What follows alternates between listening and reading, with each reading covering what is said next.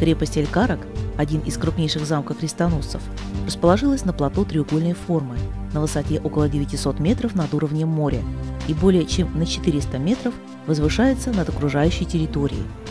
Начало становления Элькарака, как неприступного бастиона, пришлось на XII век, когда на Ближнем Востоке появились крестоносцы. С 1142 года в течение 20 лет шло строительство и укрепление замка.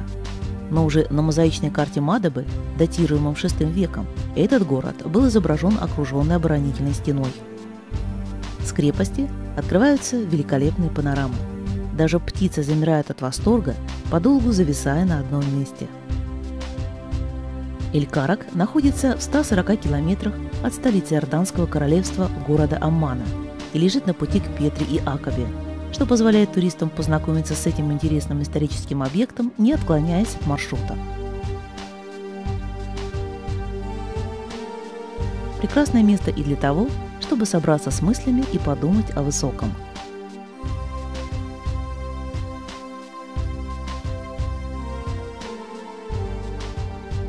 Территория современного Элькарака была заселена еще в Железном веке, около 2004 года до нашей эры.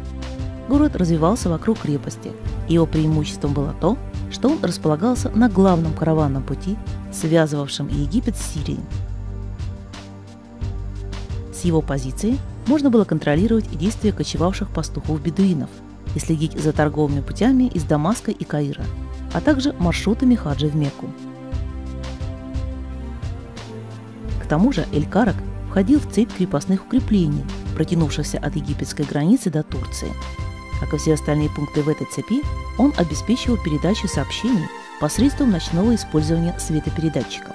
Таким образом, одно послание могло дойти с египетской границы до турецкой менее чем за 12 часов. С 1170 года Элькарак попал под власть Рейнеда де Шатиньона, правителя, известного своим безрассудством и жестокостью.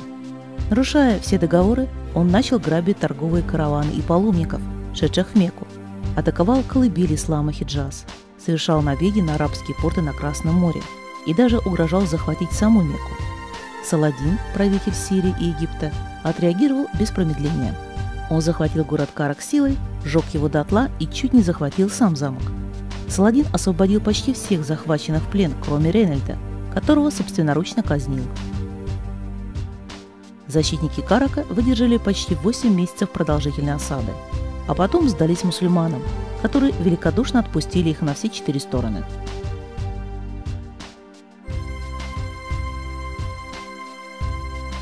Оказавшись в руках мусульман, Карак стал столицей области, охватывающей большую часть современной Иордании, и в течение двух следующих столетий играл ключевую роль в политической жизни Ближнего Востока.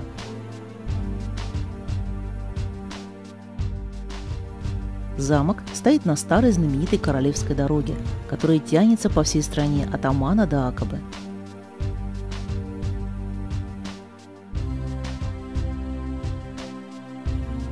За всю свою историю Элькарак осаждался огромное количество раз, но ни разу, вплоть до XIX века, его не удавалось взять приступом. В 1840 году Ибрагим Паша из Египта захватил крепость Элькарак и разрушил большую часть ее защитных сооружений. Лучше всего в крепости сохранились расположенные под землей многочисленные ходы, подобные лабиринтам, и залы с каменными сводами. В одном из таких залов 1980 году был открыт Каракский археологический музей. Замок имеет примерно 220 метров в длину, 125 метров в ширину в северной части и 40 метров в ширину в южной части. И с какой стороны вы бы к нему не подъехали, он поражает своеобразной, неприступной и массивной красотой –